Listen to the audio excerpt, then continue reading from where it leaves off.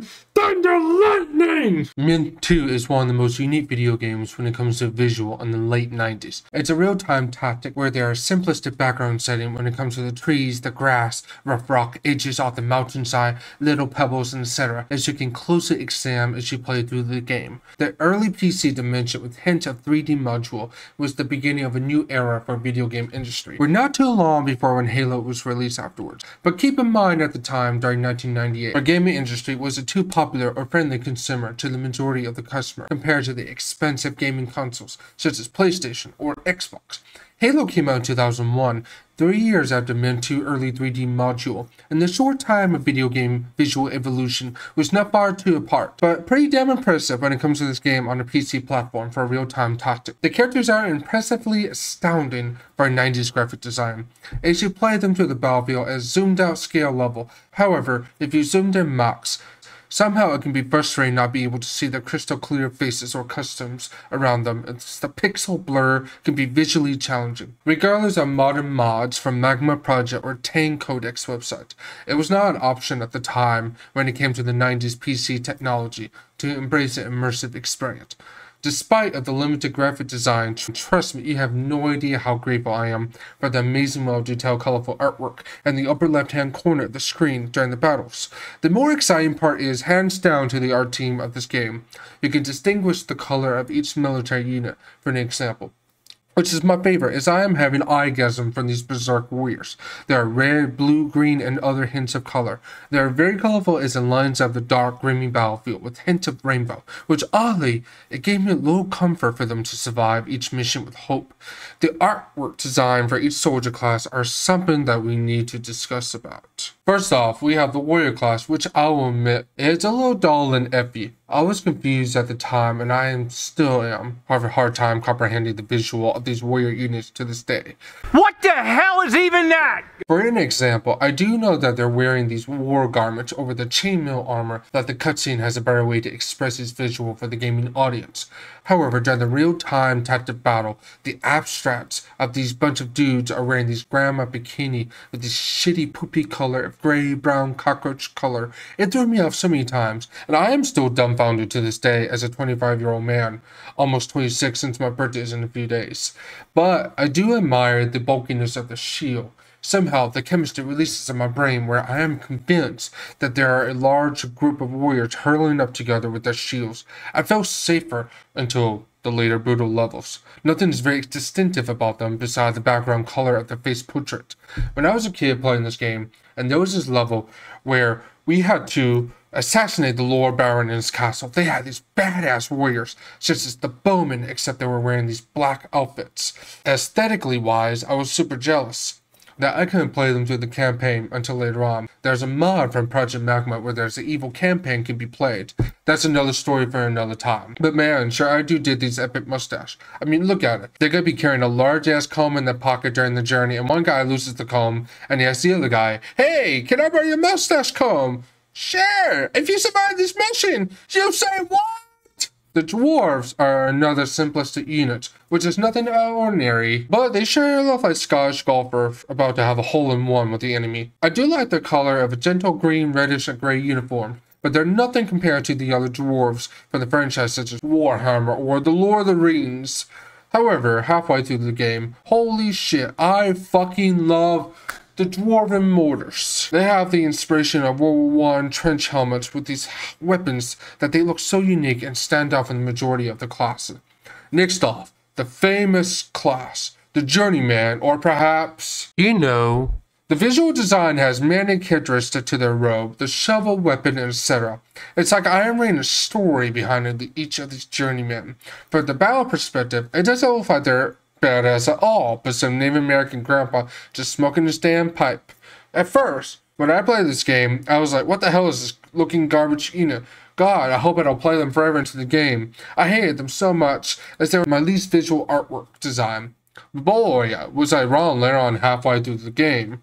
When King Alric was Christian as an emperor, the journeyman stripped down butt naked and redressed himself with these cooler gears, swords, these little flags behind the shoulder. I said to myself, I am so, so sorry that I literally treated you like a piece of garbage, even though you didn't look like a garbage. Wait, what?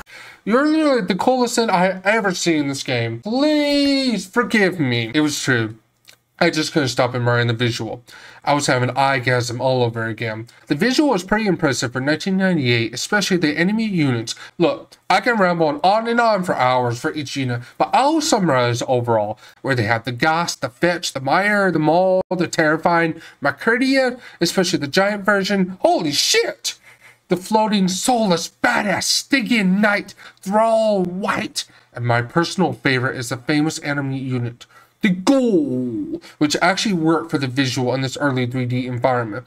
The combat can be clunky at some time, but the glorious battle blood gushing out of the enemy as they're hacking and slicing each other. The bombs gloriously exploded, and the ground shook with the tremble of an earthquake as the battle trembled back and forth with the power of these units and the enemies. Good lord, there are tons of ray, red blood, blood, blood, blood everywhere. This game doesn't shy away from gore and gruesome, which is why it was rated M for mature.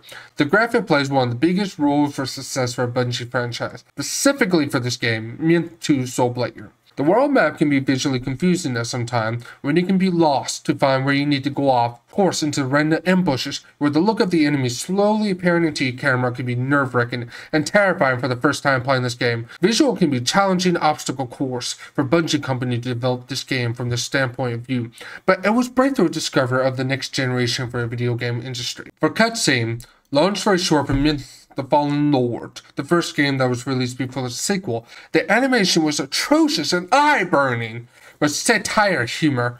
What do I mean by that?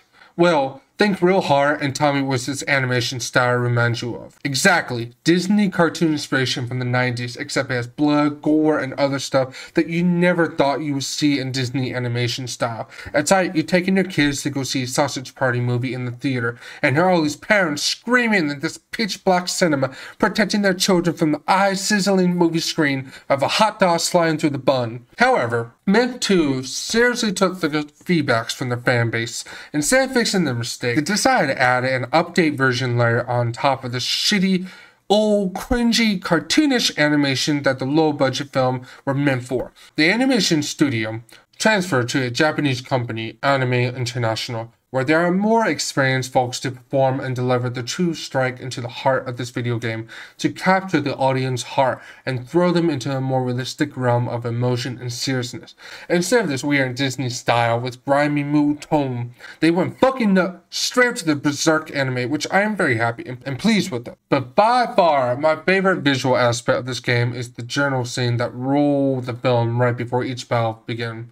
The journal expresses the imageries of these live action journeys journey and capture these powerful moments. I felt like I was actually there, experiencing the pain of the long ass journey. Thirst for water, dying for rest to sleep at peace, hearing the news from the mock as the cities have fallen. So many emotion of fear, anguish, nerve wracking, of fingernails chewing, knowing that my veteran units may die and never seen again from the powerful foe of Damas. Unfortunately, the days of victory and success were short-lived for Bungie and Myth 2. Everybody loves music, right? Well, I got some bad news for you. And good news. Done! Let's start with the bad news first. Unfortunately, during each mission, there are no music at all, not even their own customized soundtrack. Yes.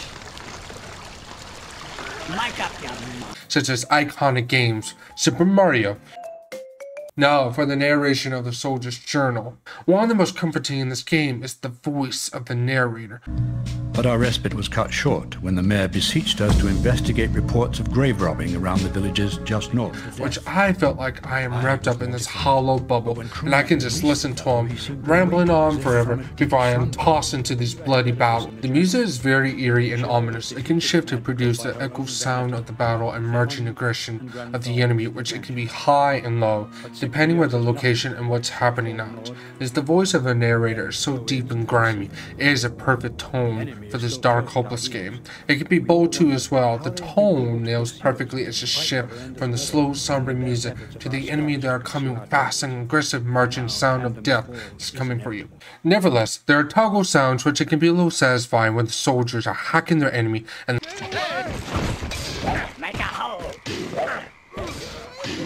is huge engaged combat where it can be bloody sound to the mind of as a gamer. One sound can be a little scary where your heart drops for a second when you hear the arrow whistling launching from the soulless units. I'm clear.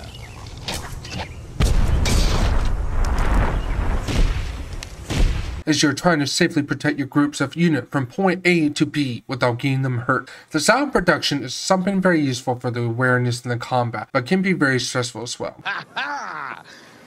Easy peasy lemon squeezy. Small moments of the conversation are pleasing to my ears, but not a lot of dialogues is this happening between the combat, which is something I am not worrying to complain about. Nothing you can do for him. He's dead, Garrick. Your Majesty! Your Majesty!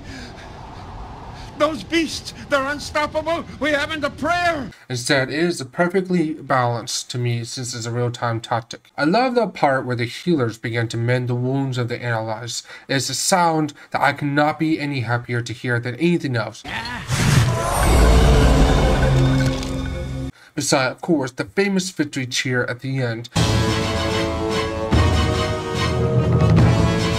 Where the men were clanking their swords onto the shield, the dwarves are cackling with high level of testosterone, and the archers are kind of like pirates as they found their booty chests at the end.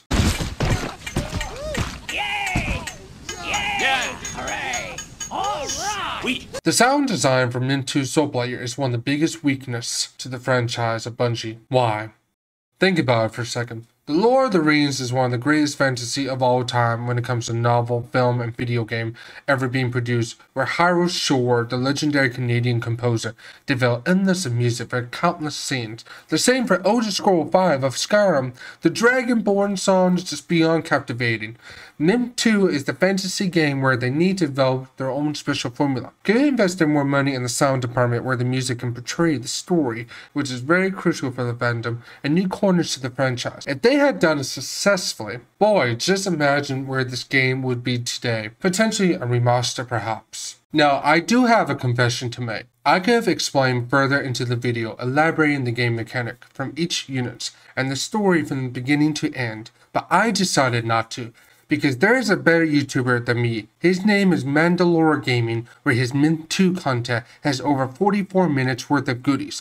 He can explain the mechanic and the campaign wise better compared to me. Please feel free to check it out and support his channel. I will cut to the chase and give this game a final score. 9 out of 10 with a badass seal approval. It would have been a perfect score if they added more dialogues to each mission and sugarcoated a song behind it as well during the real-time battle. Last reason may be a huge ask, but an evil legit campaign would been very cool as a what if scenario, just like the Lord of the Rings Battle for the Middle Earth video game. Myth 2 is one of these rare real time tactics that you don't really get to see these days during the modern gaming. It's a long time forgotten masterpiece. I really hope you enjoyed this video, and don't forget to hit the bell for notification and subscribe below. I'll see you guys next time. Get me Greek out.